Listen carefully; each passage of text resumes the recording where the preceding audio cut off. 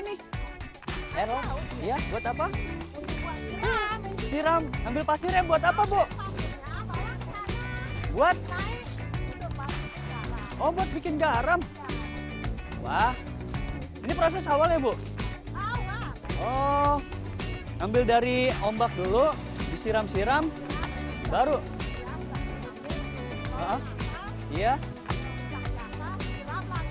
siram lagi. Capek ya, Bu? Ini gantian saya yang ambil airnya.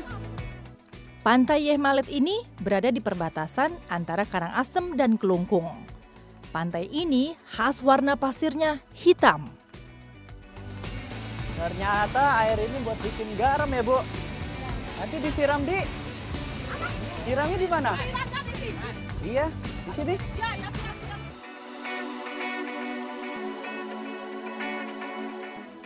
Bener Bray, gak gampang. Ternyata memilih seperti ini ada tekniknya. Gak bisa sembarangan loh. Pasir yang sudah dipilah tadi untuk diproses menjadi garam perlu disaring lagi. Dan harus berkali-kali agar garam benar-benar terpisah dari pasirnya.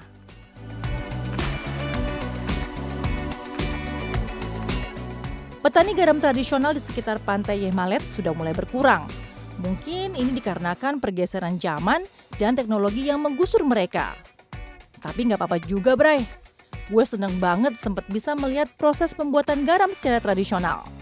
Kalau bisa tetap dipertahankan ya pembuatan garam tradisionalnya.